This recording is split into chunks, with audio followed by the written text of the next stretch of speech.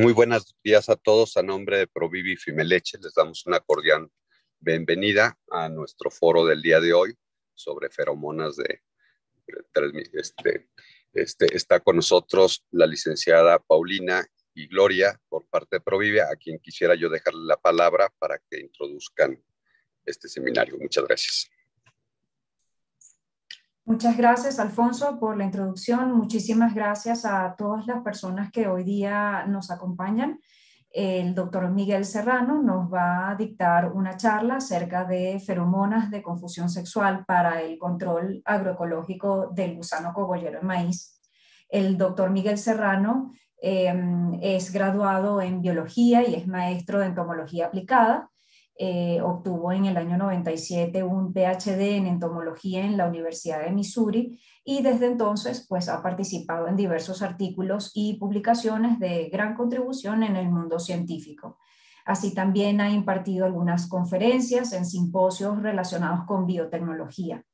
Eh, el doctor Miguel Serrano ha trabajado como investigador y profesor asociado en diversas instituciones muy reconocidas y universidades, y pues posee una larga trayectoria como líder global de agronomía en empresas eh, mundialmente reconocidas y hoy es director de Corn Value Development en Provivi, eh, una empresa que es de origen estadounidense, de reciente fundación en México y que se dedica a la investigación y producción de feromonas destinadas para el manejo de plagas con una orientación al desarrollo sustentable.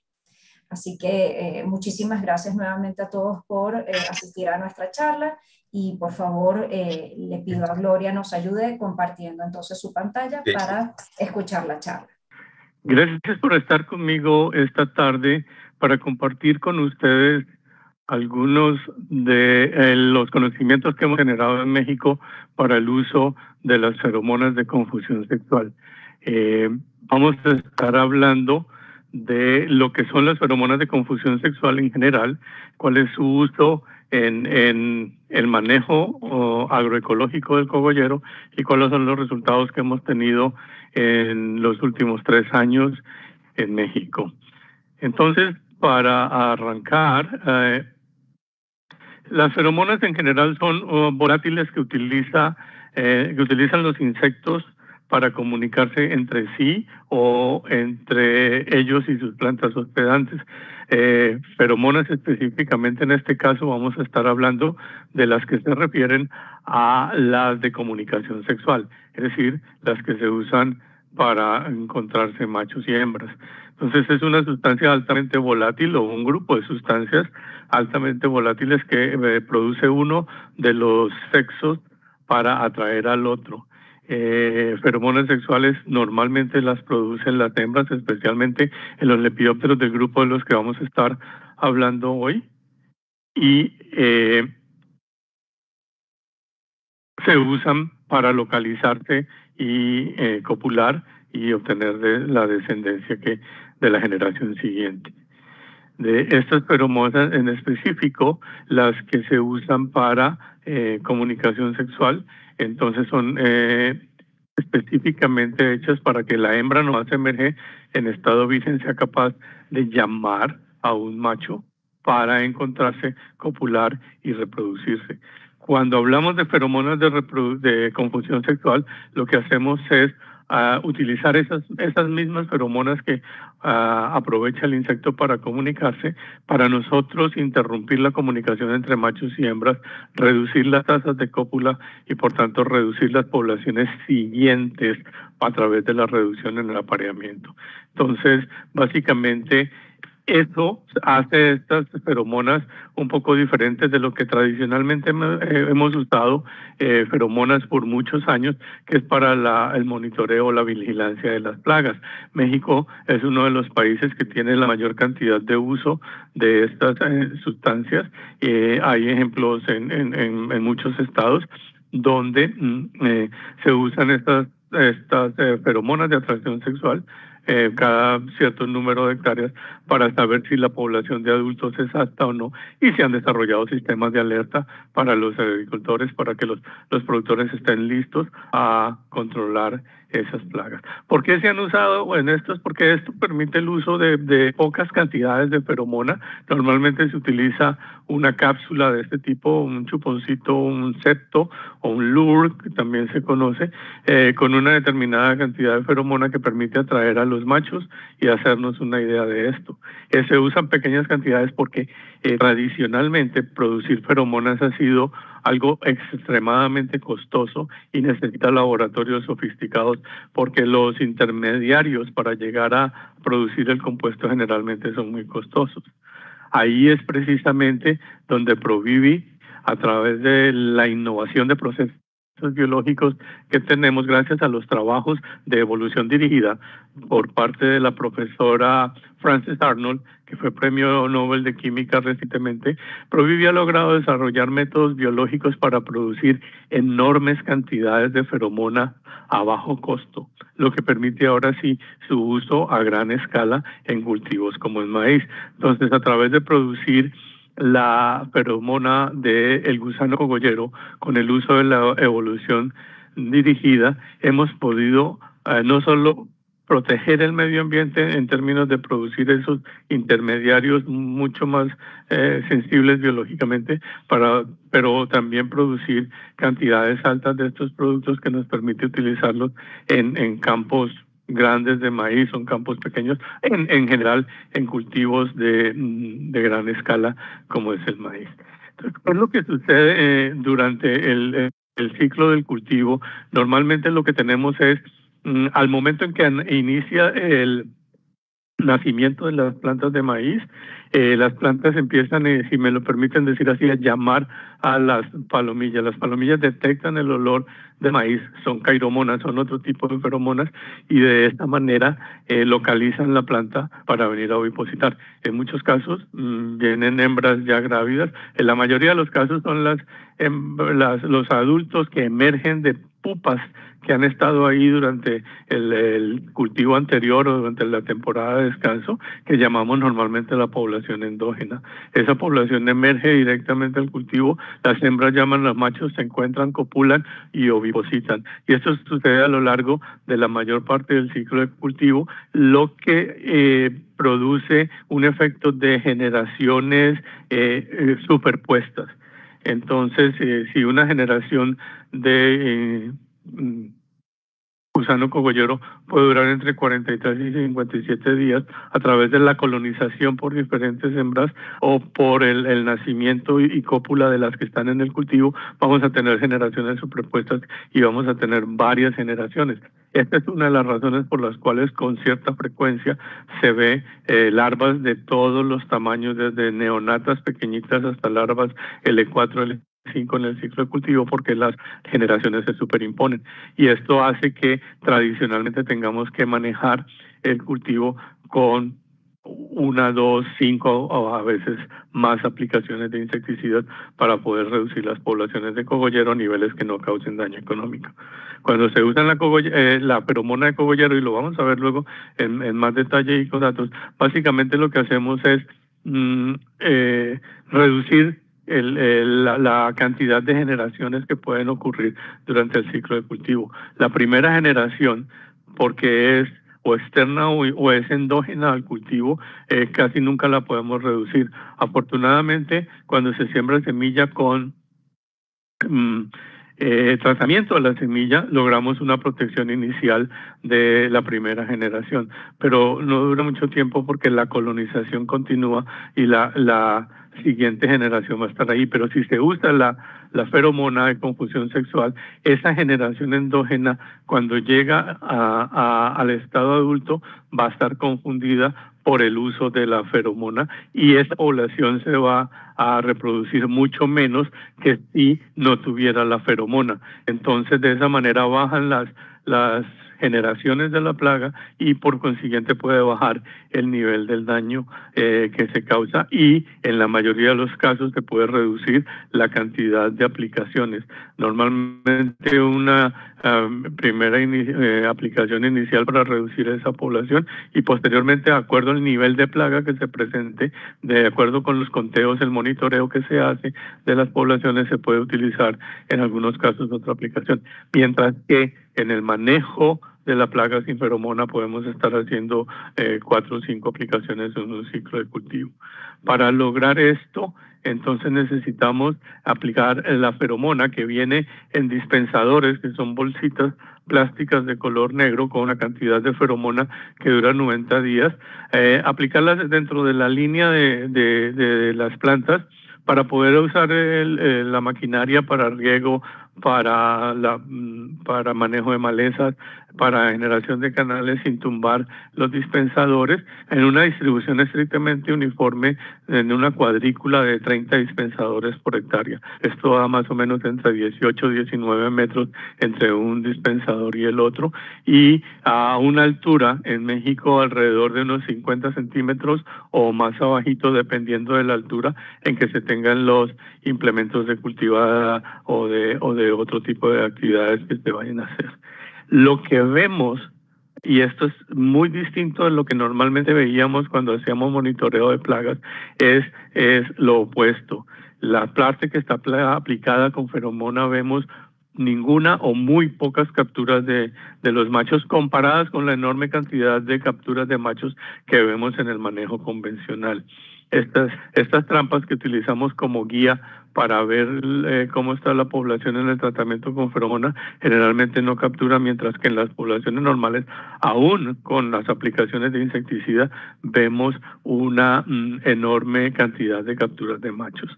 Y se asume que si la proporción de sexos es de uno a uno y en una trampa de estas cayeron 100 machos, debe haber unas 100 hembras eh, disponibles, bien sea ya copuladas o para copular y eh, generar la siguiente población ah, de, larvas que van a causar daño al cultivo. Entonces, esta supresión de capturas es lo que nosotros denominamos el, la confusión del apareamiento o la confusión sexual. Y se logra debido a que los machos están confundidos. Lo que ustedes ven en el video es eh, observaciones nocturnas de eh, viendo que, cómo, cómo trabajan los machos con el dispensador y ustedes ven cómo vuelan alrededor, se acercan, es decir, ahí hay una fuerte, un fuerte olor a hembra, ellos se acercan pero dicen visualmente esto no es una hembra y se van y estos son machos que completamente confundidos no logran conseguir a las hembras, ni siquiera son capaces de detectar los cebos que hay en las trampas, entonces no copulan, la siguiente generación de adultos o la siguiente generación de larvas va a estar muy reducida, la necesidad de aplicar o los niveles de daño eh, van a ser más difíciles de alcanzar por esto. Estas observaciones vienen de eh, muchísimos ensayos en, campos mexicanos. Eh, hasta el año pasado estábamos trabajando Guanajuato, Jalisco, Sinaloa, Chiapas, Ahora estamos haciendo ensayos en otras regiones del país, no solamente en maíz para grano, sino también en maíz para silo y eh, observando más o menos eh, los mismos resultados que hemos visto en las otras localidades. Obviamente las proporciones de esto varían de acuerdo a la intensidad de la población plaga y en algunos casos las capturas son mayores o menores, pero la confusión sexual se maneja y como ven en, la gráfica Hemos trabajado hasta el año pasado alrededor de 10.000 hectáreas en, cuatro temporadas experimentales y en este año estamos subiendo esa cantidad a, otro tanto.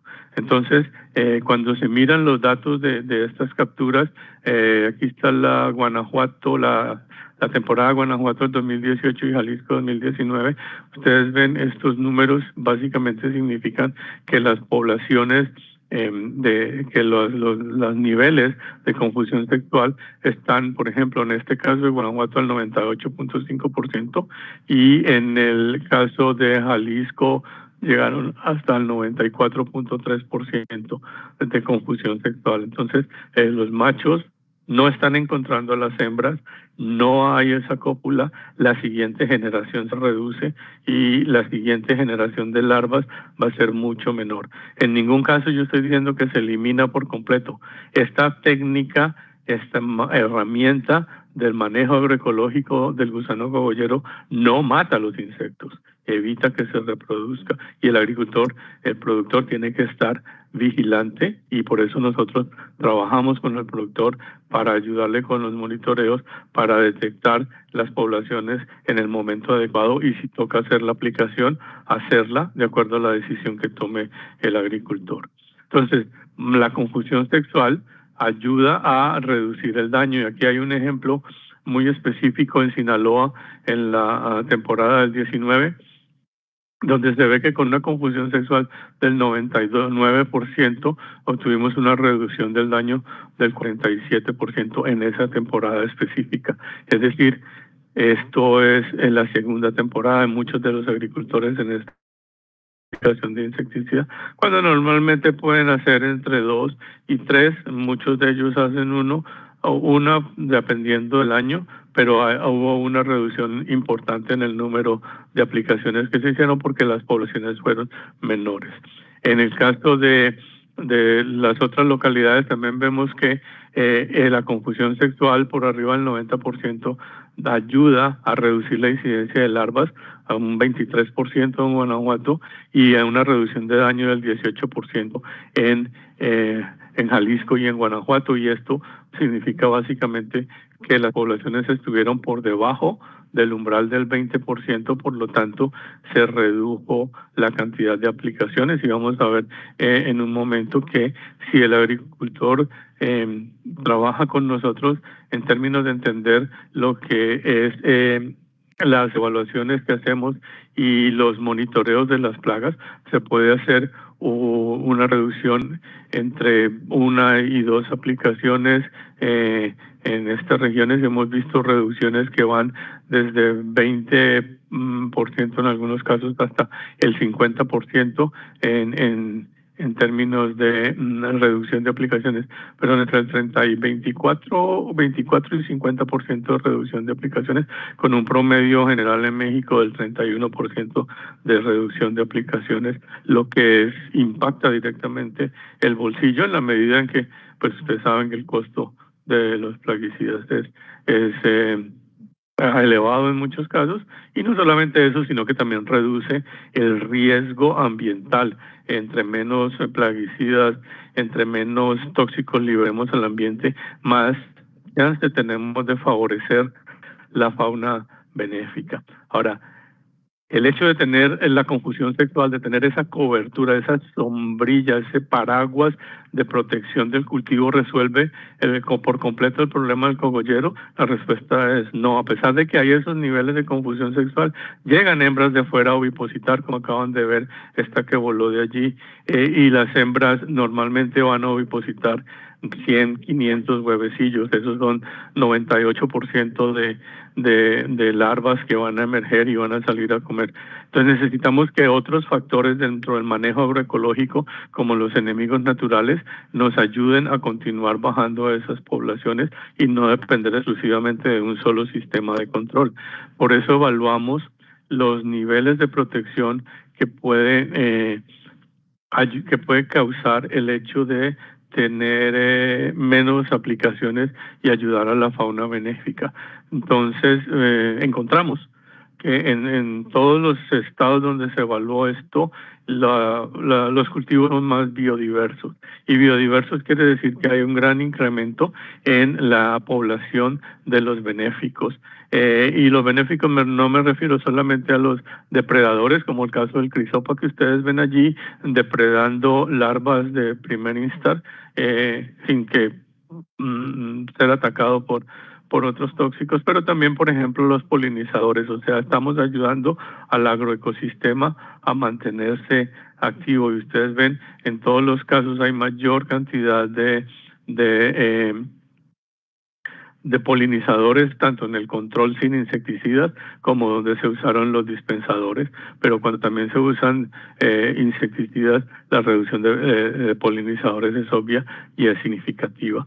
entonces, este experimento, estos resultados son parte de un experimento más complejo donde les voy a mostrar los resultados de los depredadores naturales que se presentan en, en, en, el cultivo. Básicamente hicimos cinco tratamientos. Uno donde es un testigo absoluto, cero aplicaciones, no importa si el cogollero se comió todo el cultivo, pero era eh, cero aplicaciones de ningún tipo de, insecticida biológico o químico. Otro tratamiento donde se pusieron los dispensadores Provivifao y se hicieron liberaciones de biológicos como tricograma preciosum ah, para control también de, de huevecillos de cogollero otro donde se colocaron los dispensadores solamente no insecticidas y no eh, y no ningún otro tipo de control y un tratamiento donde además del dispensador se usaron aplicaciones de insecticidas cuando se obtuvo el umbral de daño económico y otro donde eh, solamente se usaron insecticidas al momento del umbral. Eh, estos resultados de las tres especies de catarinitas que son más importantes o más frecuentemente encontradas, como cicloneda, hipodamia y coleomegila, ah, con conteos eh, semanales, muestran que en el testigo absoluto, o sea, lo que es la población, digamos, natural, eh, los conteos son muy altos. Y en el caso de hipodamia, ah, que es este de aquí, y, y, y cicloneda, que es este de acá, eh, se consiguen más de 400 individuos semanales en, en, estos muestreos y de coleomegila inmaculata alrededor de 100 y 200 de ellos.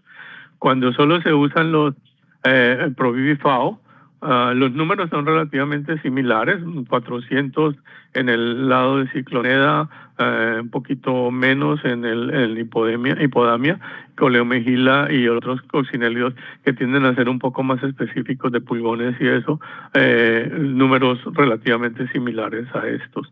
Eh, entonces, ProVivifao ayuda a mantener esa fauna benéfica en la misma proporción de que cuando no hay insecticidas. Cuando se utilizaron además de ProVivifao insecticidas biológicos como tricograma, ustedes pueden ver la proporción es prácticamente la misma, 200 y eh, coleomegilas y, casi 400 cicloneda y podamia eh, catarinitas. El cambio se vio cuando se utilizaron insecticidas. Cuando solo se usan insecticidas o se usan insecticidas con Provifao, no, no se están reduciendo las poblaciones de los benéficos. Todavía llegan a encontrarse en mayor cantidad cicloneda y podamia, pero nunca a los niveles de cuando no se usaron. Entonces, mm, eh, no es, no se trata de no usar insecticidas, los insecticidas siguen siendo la mejor manera de controlar a insectos que tenemos, pero seguramente hay en el mercado, o como ustedes conocen, insecticidas que son más respetuosos de la fauna benéfica y trabajando esos con el uso de Provivifao o con insecticidas biológicos vamos a poder tener eh, esa ayuda adicional para, para otras plagas del cultivo que son controladas por, en este caso, depredadores. Datos similares existen para, de, para parasitoides y para enfermedades, pero pues para no alargar esta práctica solo les, quise mostrar el ejemplo de los depredadores. Esto, esto todo en conjunto, el uso de, del de los dispensadores ProVivifao creando la, la, la, nube de feromona que baja las poblaciones de cogolleros y ayuda a reducir las aplicaciones, lo que ayuda a controlar, eh, eh, a, a, mantener la fauna benéfica y hacer más sustentable y más biodiverso el, el ecosistema agrícola de maíz, ha, tenido algún efecto en muchos casos en la protección al rendimiento. Y hemos visto que en los alrededor de 100 ensayos que, se han hecho en estas dos, estas dos últimas temporadas, hemos tenido, hemos mm, mostrado ganancias en el 72% de los ensayos, dos empates, o sea, 74% de las veces eh, donde se usó Provifao, los agricultores obtuvieron algún nivel de incremento en el rendimiento eh, de un total de 125 ensayos, perdón. Entonces, eh, en algunos casos eh, se empató en, tres veces y en algunos casos se perdió.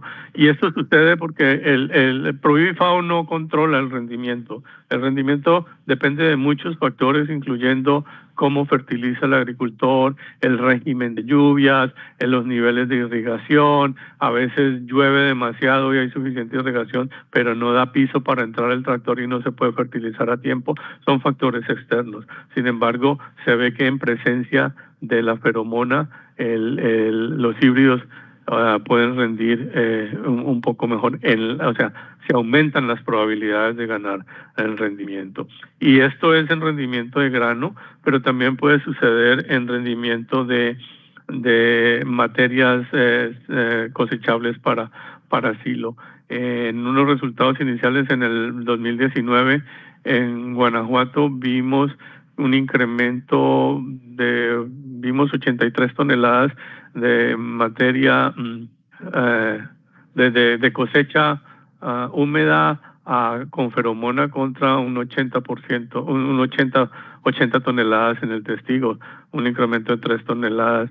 Los contenidos de almidón siempre fueron mayores en, eh, bueno, fueron mayores en este caso en el donde está la feromona en, en este caso eh, no fueron pero pero sí se ha visto niveles interesantes en ensayos posteriores y la digestibilidad eh, siempre fue mayor proveniente de los eh, análisis bromatológicos en donde se usó la feromona que no. Y sobre todo lo más importante es que en todos los casos vimos que la calidad del forraje permitía un incremento de leche bien interesante en, en, en, en términos de la calidad de, de, ese forraje. Esto nos ha llevado entonces a, a, ver que es interesante proteger la calidad del, del forraje cuando se usa feromona, no solamente porque se pueden lograr incrementos, sino también porque se pueden reducir residuos tóxicos que pueden afectar eh, el ganado y estamos haciendo estudios mucho más intensivos esta temporada en las zonas de producción de de leche en, en, en, Chihuahua, en Torreón, en Guanajuato, en algunas regiones de Jalisco para complementar estos resultados. Básicamente los resultados que ustedes ven ahí es el rendimiento en toneladas por hectárea el año el año anterior, 2020, y ahí en todos los casos hubo mayor rendimiento, hubo um, mayor, aquí sí casi continuamente mayor eh, porcentaje de digestibilidad y, de contenido de algodón, pero en todos los casos ah, hay un incremento eh, importante en términos de producción de leche por litros, por, de, en términos de litros de materia seca, uh, litros por tonelada de materia seca. Esto es muy promisorio y como les dije es lo que estamos tratando eh, de evaluar a mayor escala en, en, ensayos en las zonas ganaderas esta temporada. Esperamos para aproximadamente final del año tener estos resultados y tener la oportunidad de compartirlos con ustedes en un foro como este o, o en otro. Entonces, para concluir, eh, estos resultados iniciales muestran mayor rendimiento de forraje y mejores eh, características nutricionales cuando se usa con feromona. Las feromonas de confusión sexual son un método que previene el, eh, eh, las poblaciones de cogollero es un método de control etológico como parte del manejo integrado de plagas y son parte del manejo agroecológico. No se matan los insectos, se, se evita que se reproduzcan. Provivifao como les expliqué al principio, se biosintetiza a gran escala, lo que permite por primera vez su uso en cultivos extensivos como maíz en México y en este momento está a punto de liberarse también en Brasil, en Argentina y en otros uh, países del mundo. Y los resultados de los que les he hablado se han, han hecho en más de, 100, de 10.000 hectáreas en estados de Sinaloa, Guanajuato, Jalisco Chiapas. Y estamos evaluando otras 2.000 hectáreas en estados como Chihuahua, Torreón, eh, los valles altos y otras regiones de, de México para corroborar estos resultados y ver hasta dónde llega el efecto de esto pues les agradezco mucho su atención durante este tiempo que estuvieron conmigo y si tienen eh, preguntas o comentarios, estamos más que dispuestos a, escucharlos y responder a los que podamos. Así que eh, muchas gracias por su atención y que tengan un resto de sus días muy feliz. Hasta luego.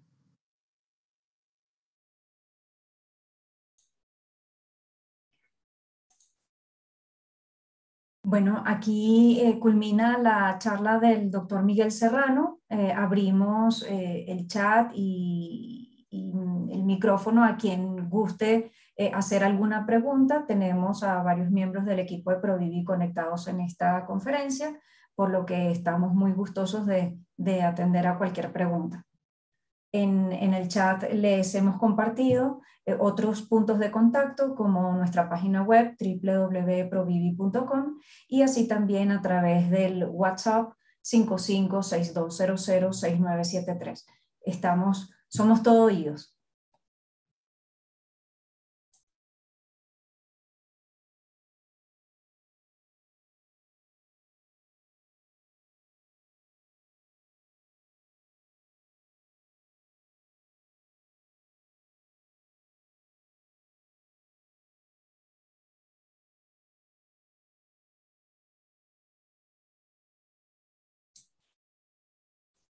Bueno, eh, si no hay preguntas, mm, hasta el momento no veo nadie que haya levantado su mano o haya escrito alguna pregunta por el chat. Eh, de cualquier manera, em, puede, pueden escribirnos a través de los puntos de contacto que hemos compartido con ustedes y nuevamente agradecerles a todos los que participaron.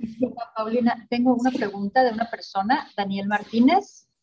¿Qué tanto influye el aire o la velocidad del aire, supongo, con la feromona.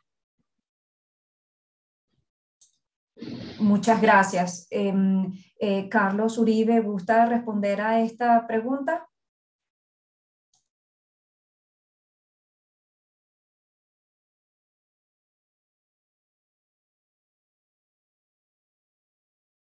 Perdón, tengo que darle el permiso de palabra. Un segundo.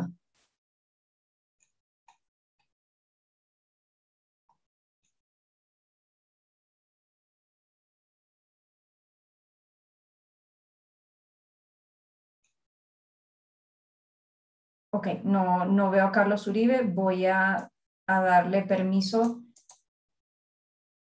Perdón, no sé cómo, cómo manejar aquí el permiso, disculpen, tenía el permiso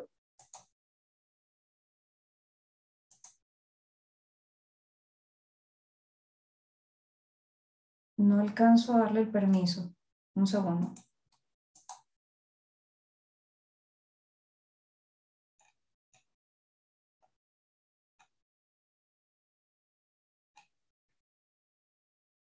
Bueno, no, no alcanzo a darle el permiso, no sé, no sé la, la aplicación no me permite dar el permiso, en ese caso voy a, a tomar yo la respuesta, si, si me permiten.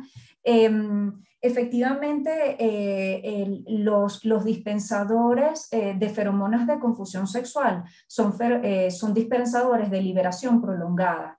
Ellos actúan en campo durante al menos 90 días continuos. Entonces, si bien eventualmente el aire puede eh, movilizar eh, eh, un poco la nube de feromona de confusión sexual que se genera, el hecho de que haya una liberación continua de la feromona en el campo permite entonces que haya una concentración permanente de feromona de confusión sexual funcionando alrededor del cultivo.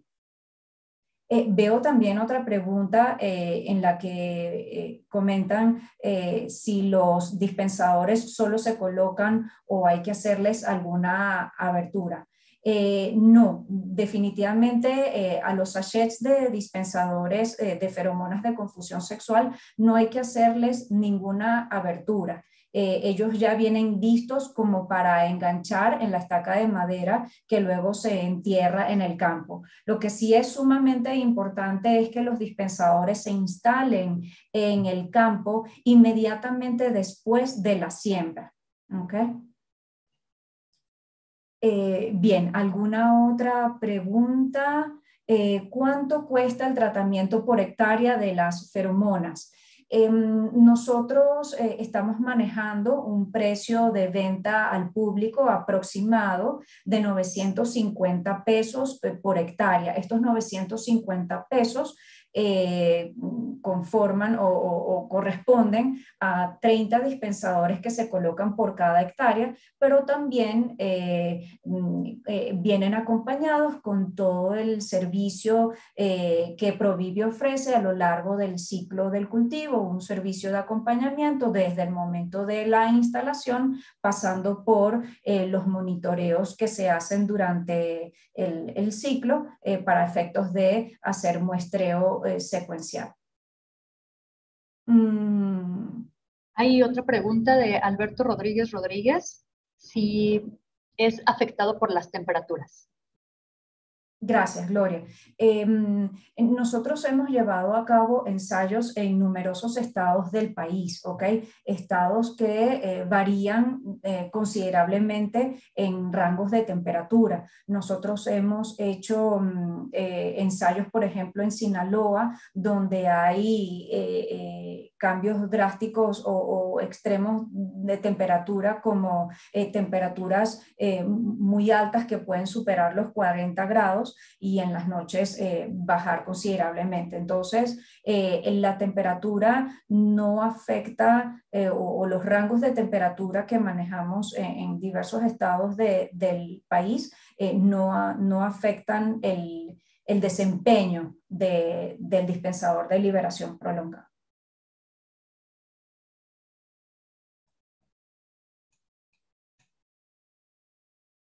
Eh, hay otra pregunta que alcanzo a ver eh, del señor Daniel Maca eh, que dice si las feromonas de confusión sexual se utilizan para otros cultivos. Em, la tecnología de feromonas de confusión sexual es una tecnología específica por especie. Es decir, la feromona que nos ayuda a controlar las poblaciones, en este caso de gusano cogollero, no es la misma feromona que se puede utilizar para controlar las poblaciones de otras plagas. Em, el, producto que hoy nosotros comercializamos en Provivi, que es Provivi FAO, eh, es para el Fall Army Worm o lo que es el gusano cogollero en, en maíz, ¿ok? Perdón, pero creo que no, no respondí correctamente porque me pregunta si se puede usar para otros cultivos. La feromona es específica por especie, ¿ok? Este, y hoy la feromona en México ha sido registrada para ser utilizada en los cultivos de maíz no necesariamente significa que no puede ser utilizada en otros cultivos donde afecta el gusano cogollero. Sí se podría utilizar, pero hoy en México el producto ha sido registrado para ser utilizado en maíz. Mm, pregunta también al señor Juan Carlos, eh, que se ubica en el estado de Morelos, dónde puede conseguir los dispensadores y, y, si tienen un distribuidor autorizado en la región. Sí, en efecto, tenemos un distribuidor autorizado para el estado de Morelos. Eh, con gusto, en unos minutos le puedo compartir por el chat eh, los datos del distribuidor autorizado para esta, para esta región.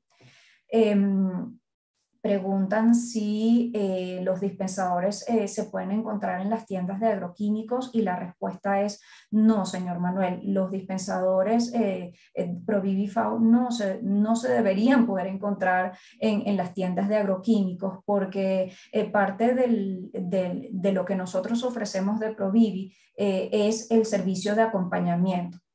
Un acompañamiento que va desde el momento de la instalación de los dispensadores en campo a lo que les mencionaba, este, las visitas para el monitoreo y el muestreo secuencial eh, a lo largo del ciclo del cultivo. Es una tecnología eh, disruptiva, es una tecnología novedosa para el uso de, en cultivos extensivos y requiere de este acompañamiento y esta asesoría eh, que no necesariamente se, se puede recibir en, en un punto de venta.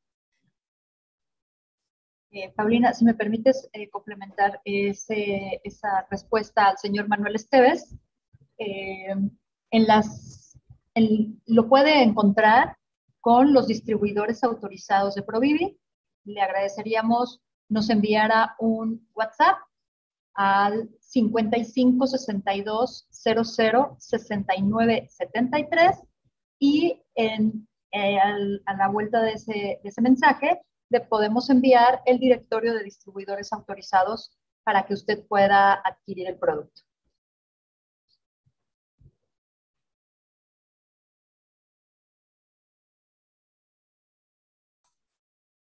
Gracias, Gloria.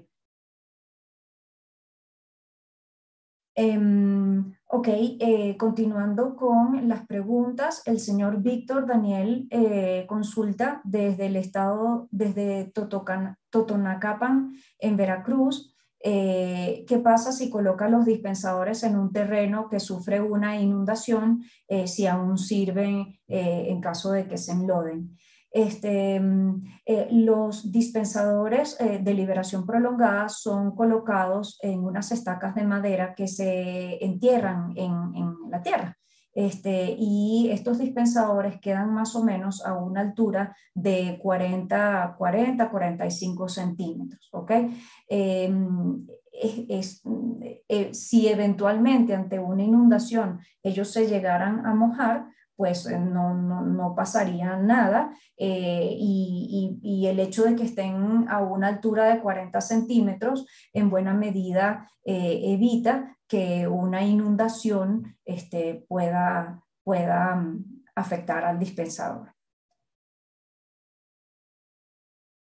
en, también en el chat nos piden dejar el número, el número, sí, el número de WhatsApp es el que acabamos de escribir, 556200-6973. Eh, mm, también nos preguntan, eh, eh, nos dicen, las feromonas tienen como trabajo disminuir la incidencia de gusanos en la parcela en lugares donde se tiene las feromonas, pero no es suficiente, ¿se tiene alguna alternativa de algún agroquímico de etiqueta verde o algún otro líquido o polvo biológico? Eh, eh, la, la, forma como abordaría esta pregunta es eh, comentando que la feromona de confusión sexual, tal como lo mencionaba el doctor Miguel Serrano hace unos minutos, no es una solución única, ¿ok? La feromona de confusión sexual es una herramienta dentro del manejo agroecológico del gusano cogollero que permite, en efecto, disminuir el número de aplicaciones de insecticidas a lo largo eh, del ciclo del cultivo. ¿ok?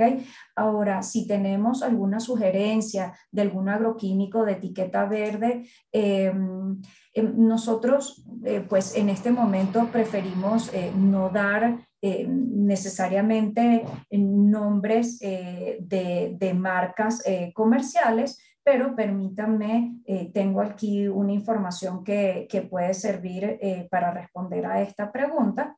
y son los ingredientes activos de aquellos insecticidas que eventualmente podrían ser una buena combinación en este manejo agroecológico de plagas. Eh, son metoxifenocide, eh, Bacillus thuringiensis, extracto de NEM, diflubenzuron, flubendiamide y clorantraniprole. Eh, espero haber ayudado con esa pregunta. ¿Hay alguna otra pregunta?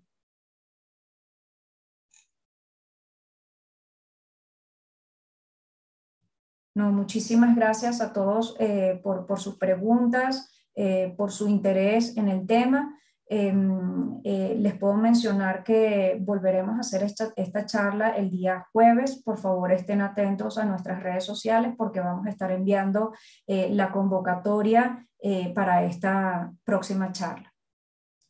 Este, muchas gracias a todos. Este, Paulina Gloria, gracias por esta charla muy interesante. Este, les agradecemos a todos su presencia. Les recuerdo que en el, en el canal de Femeleche estará esta charla de forma permanente para todos aquellos este, que quieran este, escucharla. Nuevamente le queremos agradecer mucho a Provivir este, el poder habernos compartido y apoyado en estas pláticas. Este, muchas gracias y nos vemos mañana aquí en el foro en vivo este, en Puebla. Gracias a todos.